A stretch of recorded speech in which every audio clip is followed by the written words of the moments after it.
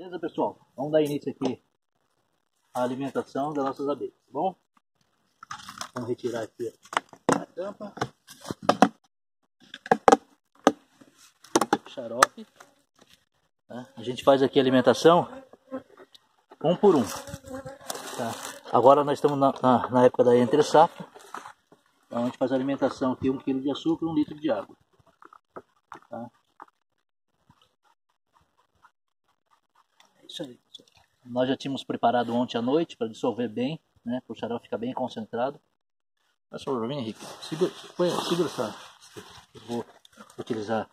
Vou utilizar isso aqui para evitar ó, derramar. Tá?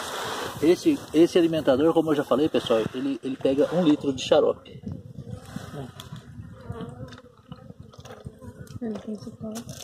Aqui. Um pouquinho. Poucas abelhinhas estão vindo buscar. Olha como que é tranquilo, pessoal. Tá? Não precisa abrir colmeia para fazer essa alimentação. Nem precisa abrir colmeia. Feito, feito aqui, adicionado o alimento. O xarope. Aqui, ó, tampinha. Ok? Tranquilo. Feito. Viu aí como que é fácil? Vamos partir para a segunda.